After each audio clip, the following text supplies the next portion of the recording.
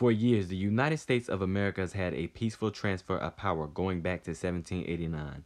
But this year, Donald Trump may not see that he lost the 2020 election and his presidency. By tweeting on Twitter that he won by a lot and calling the election rigged and saying that the Democrats are still in the president election without proving any proof that these things occur, leaving many people to wonder will he leave the White House in January. Many experts say yes, he will leave. Even if Donald Trump and his colleagues soar a chaotic transfer of power, it's still highly unlikely that he will barricade himself in the White House and refuse to leave. Many people don't see this happening because of the aftermath of the 2020 election.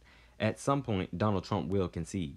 But many people are still not convinced. After thoughts of Donald Trump rejecting the outcome of the 2020 election results for years, Donald Trump has sparked fear among Americans of violence. With only 10% of Trump supporters believing that Joe Biden won the president election, many Americans are very concerned about the violence that may occur, especially when Donald Trump claims that the election was rigged.